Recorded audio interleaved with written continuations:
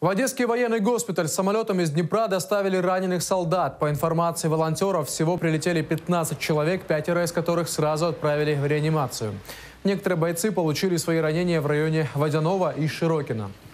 У ребят эм, достаточно нелегкий борт, особенно вот то, что я наблюдал, те ребята, которые сейчас определены в отделении реанимации. Э, в основном это миновзрывные, пулевые ранения. У ребят э, повреждены.